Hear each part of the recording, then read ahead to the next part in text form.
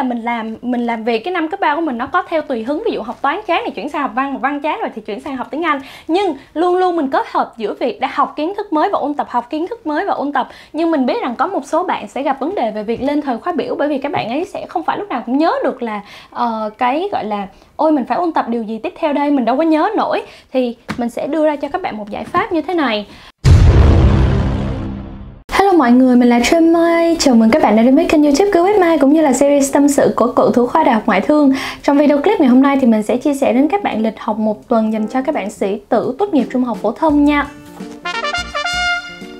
và nếu như đây là lần đầu tiên các bạn theo dõi kênh của mình thì mình là Trâm Mai, mình là một trong những cựu thủ khoa Đại học Ngoại thương trong thành phố Hồ Chí Minh và mình mong muốn là thông qua series này sẽ chia sẻ đến các bạn kinh nghiệm để giúp mình đậu được Đại học Ngoại thương cũng như là giành được học bổng đi du học nước ngoài và nếu như các bạn cũng đang quan tâm đến chủ đề trong video clip ngày hôm nay thì nhớ theo dõi hết video clip này nha.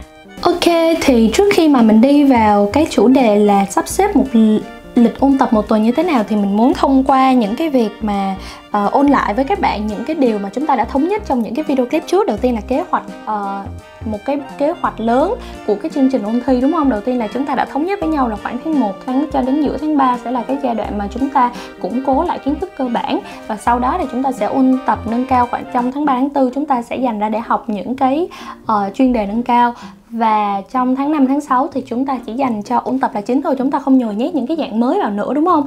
À, thì trong cái giai đoạn mà input rất nhiều như tháng 2, tháng 3 như thế này tức là các bạn sẽ phải học những cái thứ mới. Nếu các bạn mất căn bản thì học lại căn bản. Và nếu như các bạn cảm thấy rằng những cái kiến thức cơ bản của các bạn rất là ok rồi thì có phải là các bạn đang học uh, lên những cái dạng nâng cao để mà lấy điểm cao hơn đúng không? Thì chúng ta có những cái nguyên tắc học tập cho từng môn thì chúng ta đã thống nhất với nhau rồi đúng không? Bây giờ ôn lại một cách rất là vắn tắt với mọi người nè. Đầu tiên á, là môn toán. Thì như mình đã nói với các bạn là mỗi dạng các bạn học các bạn phải làm lại cho mình ít nhất là 3 lần. Và nếu muốn chắc chắn thì hãy làm lại cái dạng đó 5 lần đúng không mọi người?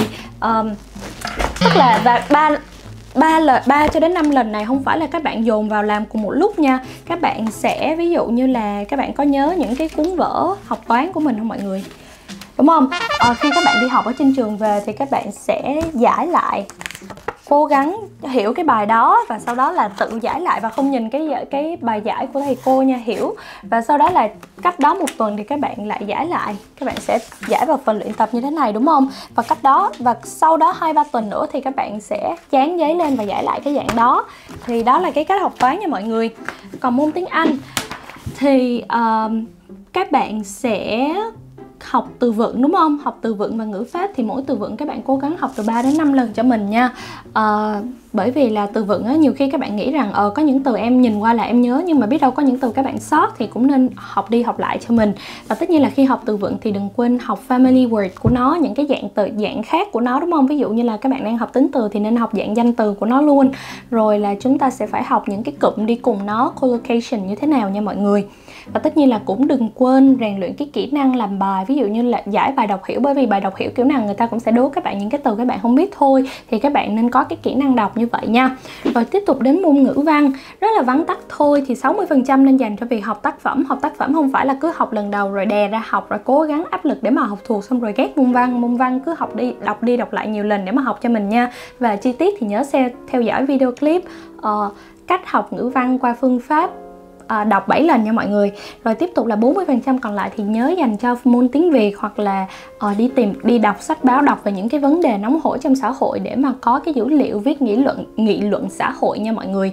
À, và khi học cái phần mà luyện đề tiếng Việt á, thì nhớ nhớ gọi là à, giải bài tập nha đừng có học chay không ok thì chúng ta đã thống nhất với nhau những cái phương pháp học như vậy. Vậy thì uh, có phải là các bạn sẽ phải có rất là nhiều ông nội ba môn toán văn và anh văn này thôi thì các bạn đã có rất là nhiều điều để làm rồi các bạn có sợ rối hay không? Thì mình cũng đã chia sẻ cái tips học đó là uh, ngày nào các bạn tất cả các môn ngày nào các bạn cũng học cho mình. Đừng đừng chia theo cái kiểu là ngày hôm nay mình học toán ngày mai mình học văn ngày mốt mình học anh văn. Học như vậy nó cũng không hiệu quả mà các bạn nó bản thân mình nghĩ rằng nó cũng làm cho các bạn stress bởi vì học một môn trong mỗi lần mà các bạn học môn nào mà quá hai ba tiếng thì các bạn sẽ rất là chán và não bộ của các bạn nó đã bị chán rồi thì nó không hấp thu kiến thức được nữa.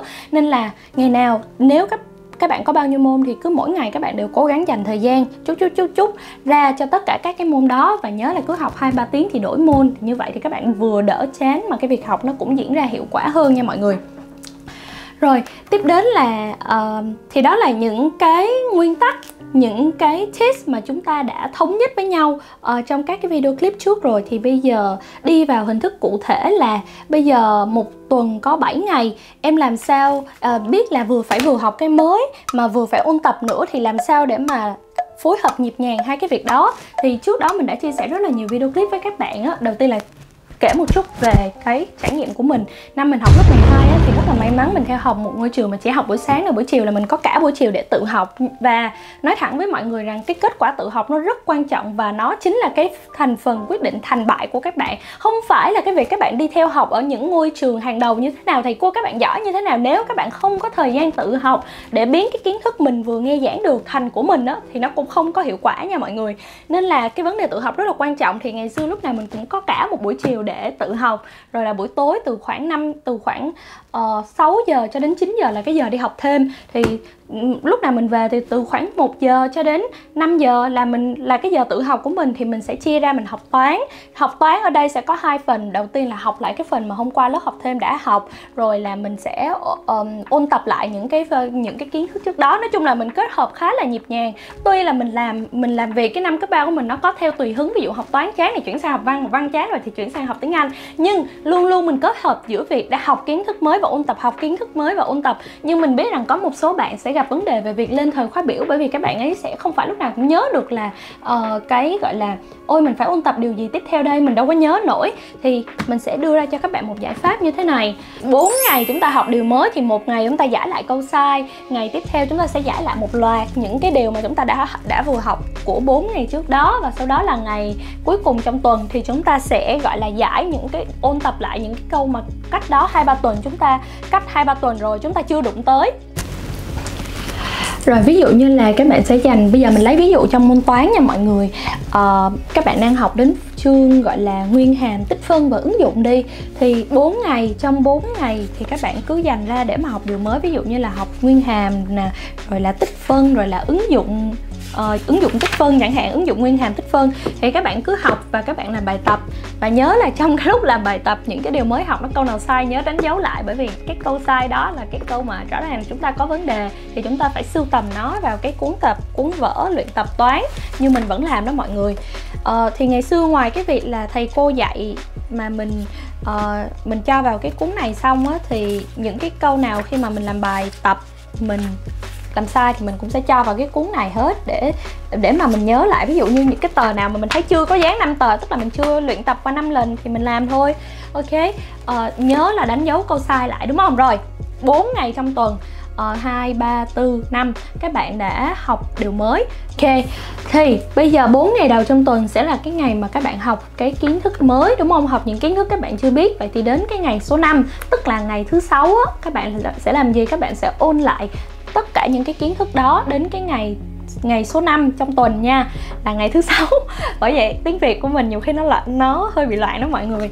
Thì các bạn sẽ ôn lại cái chương mà các bạn đã học các bạn sẽ à, các bạn vừa học xong nguyên hàm thì đến cái ngày thứ sáu đó từ từ thứ hai đến thứ năm các bạn học nguyên hàm thì đến cái ngày thứ sáu các bạn sẽ lôi những cái câu các bạn đã sai ra và làm cho mình làm lại cho mình. Ở tất cả các bộ môn nha kể cả môn uh, toán môn anh văn hay là môn văn thì các bạn cũng dành một cái ngày ngày số 5 trong tuần ra để các bạn giải lại những câu đã sai. Còn đến ngày số 6 thì sao? Ngày số 6 thì sẽ là cái ngày mà các bạn giải lại một cái ào ví dụ như là từ trước đến giờ thì các bạn học uh, trong chương nguyên hàm tích phân các bạn đã học nguyên hàm học tích phân và sau đó là ứng dụng của tích phân. Thì đến cái ngày số 6 trong tuần, tức là thứ bảy đó, ví dụ, các bạn sẽ giải cái ao lại tất cả những cái câu đó.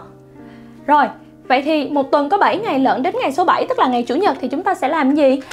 Thì chúng ta sẽ giải lại, ôn tập lại những cái vấn đề mà chúng ta đã học từ nhiều tuần trước đó, mà chúng ta từ trước đến giờ chúng ta chưa ôn.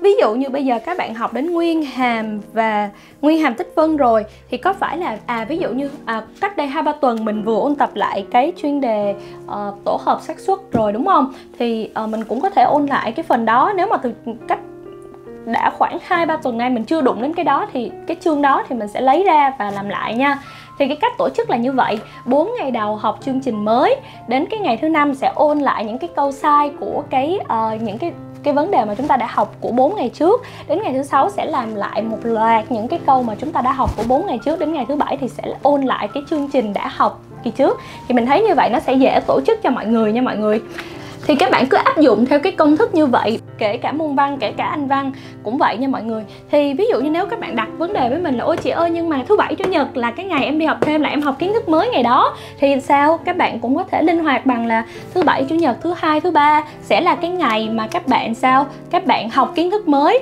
rồi đến thứ tư sẽ là cái ngày giải lại những cái câu đã sai, thứ năm sẽ là cái ngày giải lại một loạt từ đầu đến cuối rồi đến đến ngày thứ sáu sẽ là cái ngày mà các bạn giải những cái uh, ôn tập lại những cái chuyên đề mà từ trước đến giờ cả đã cả hai ba tuần nay chúng các bạn chưa đụng đến. Nó là tác có thể là tác phẩm văn nó có thể là một cái kỹ năng tiếng anh ví dụ như kỹ năng đọc hiểu hai ba tuần rồi chúng ta chưa làm. Ok và đó chính là cái kinh nghiệm mà mình mong các bạn nhớ cái cách mà chúng ta có thể bố trí học tập cho một tuần uh, trong cái giai đoạn mà chúng ta đang phải input rất là nhiều kiến thức ha. Ok và nếu các bạn có thắc mắc gì cũng như là có cái tip bố trí học tập nào khác á thì các bạn nhớ để ở dưới phần bình luận cho mình và nếu như các bạn thấy thích video clip này thì đừng quên like, share và subscribe. Cảm ơn và hẹn gặp lại.